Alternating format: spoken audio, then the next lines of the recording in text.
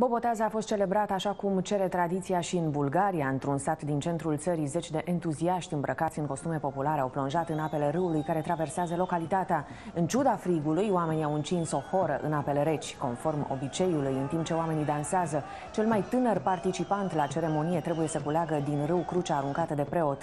Boboteaza a fost marcată în mod similar și în alte localități bulgărești.